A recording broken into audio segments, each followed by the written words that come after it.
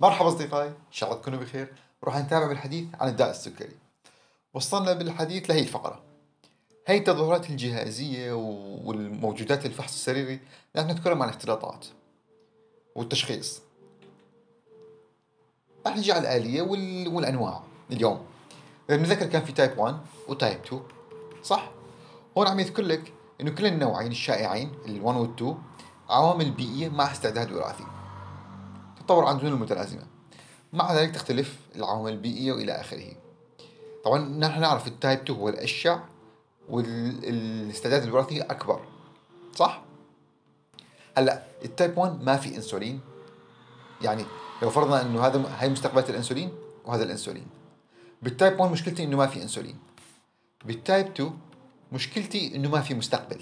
هيك للتبسيط. هاد أعمار صغيرة شباب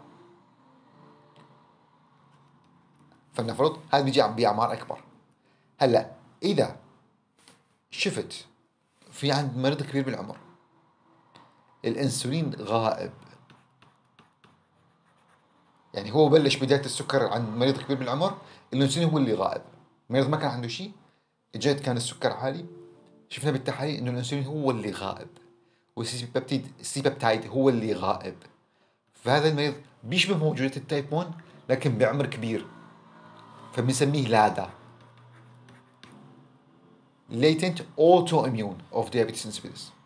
Of diabetes at of, of adults. يعني هو كبير بالعمر بلش عنده نمط ال autoimmune بأعمار متأخرة. صح؟ ال type 1 شو اتفقنا بأعمار صغيرة وما في إنسولين. لكن إذا شفت بأعمار صغيرة الإنسولين موجود. لكن في له مقاومة. الإنسولين موجود الإنسولين موجود. وال C-peptide موجود صح؟ لكن المستقبل ما موجود في مقاومه له. يعني بيشبه ال type 2 لكن بعمر صغير بنسميه MODY. على مريض ال type 2 شو عادة شو بيكون؟ بيكون هيك طبوش زيادة في الوزن. فأنا دائما بحفظها حمودي صح؟ إنه طبوش بعمر صغير. طبوش بعمر صغير. type 2 وبعمر صغير. Okay؟ وفي عندك الحامل. بسبب هرمونات ال placenta المشيمة يطور عندك gestational diabetes gestational diabetes وعندك ممكن تصير داء سكري بسبب الأدوية بسبب بعض الأدوية مثل ال steroids هاي كانت نظره كثير عامه وشامله خلينا نفوت بالتفاصيل أكثر. ال etiology مثل ما حكينا type 1 diabetes ارتباط لصيق بعوز الإنسولين. insulin deficiency يحتاج إلى معاوضة بعلاج بالإنسولين. autoimmune disease عبر ال T cells عبر ال T cells ال T cells عم تحطم ال beta cells يبدا يتخرب تدريجي خلايا البيتا المفرزه الانسولين. صح؟ طيب باقي الخلايا بيكون فيها شيء تبقى الخلايا المفرزه للجلوكوز مرة أخرى سليمة. مشكلتها عين عينك على بيتا. صح؟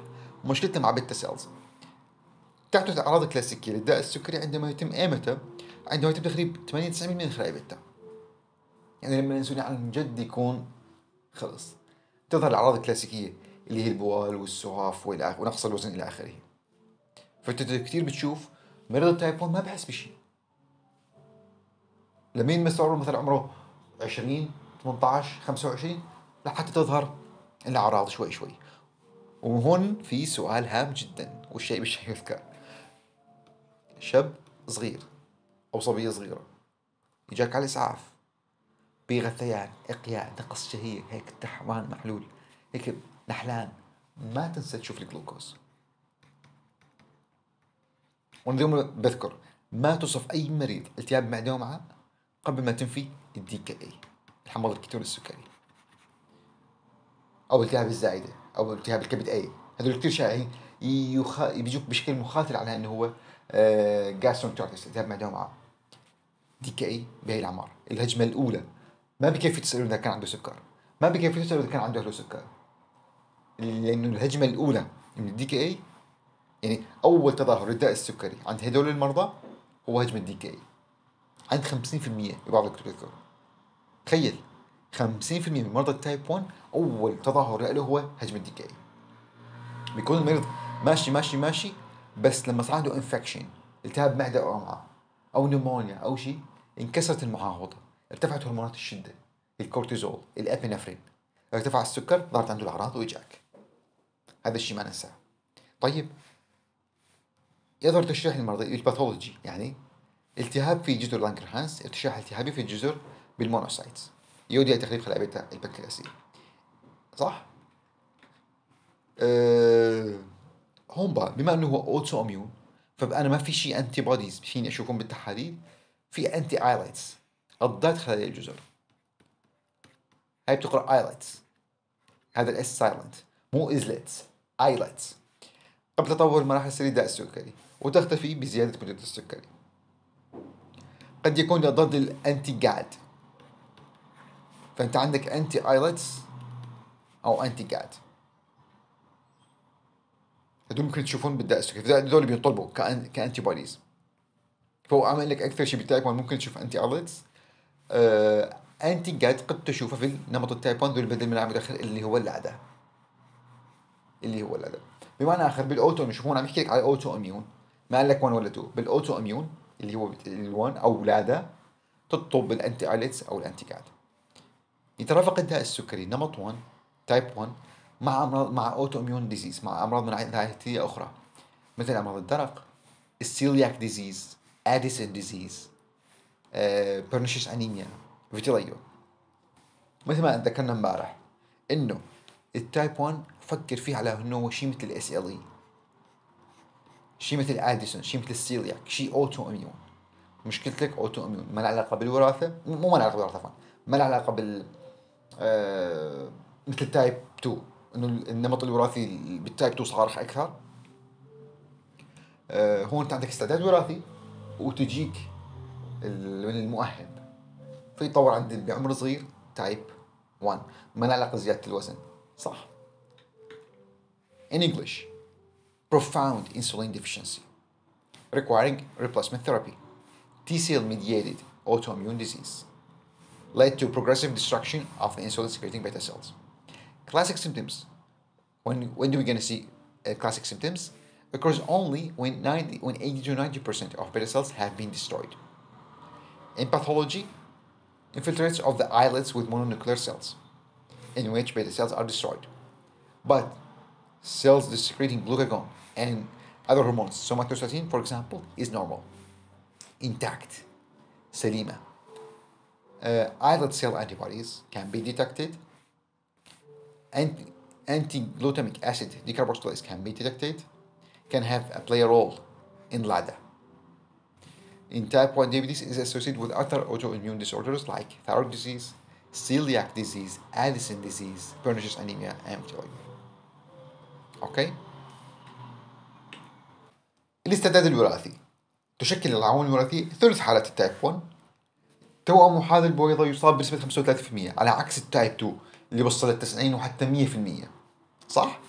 يترافق مستضد كريات ال HLA antigen من نمط دي 3 ودي 4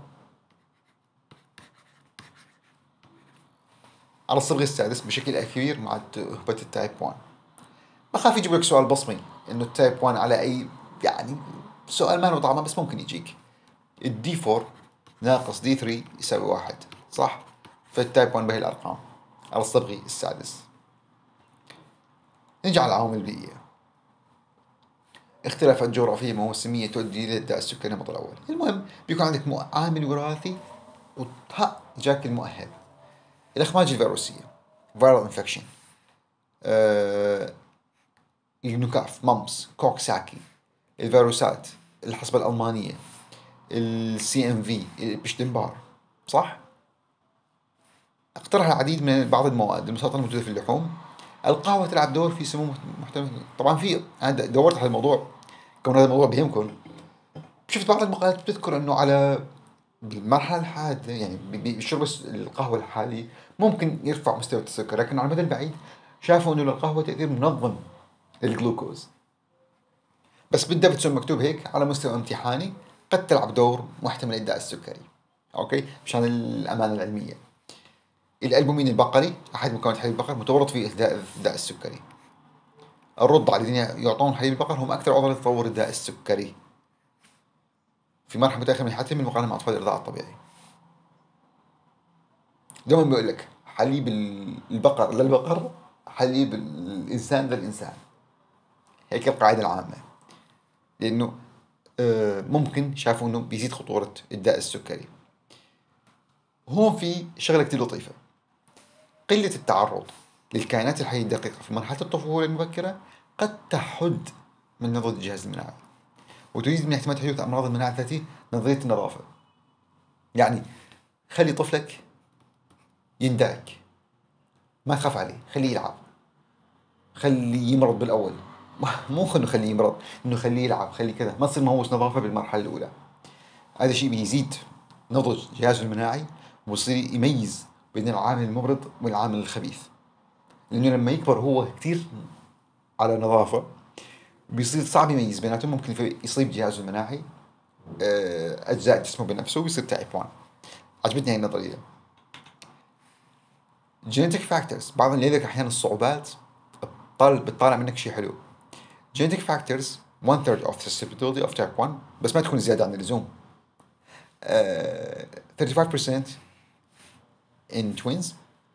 D3 D4 environmental factors as we said viral infections mumps Coxsackie B4 retroviruses congenital rubella cytomegalovirus Epstein-Barr nitrosamine coffee have been proposed as potentially diabetogenic toxins, uh, bovine serum albumin, and so on. Reduced exposure to microorganisms in early childhood may limit maturation of the immune system and increase susceptibility to, to autoimmune diseases. The hygiene hypothesis.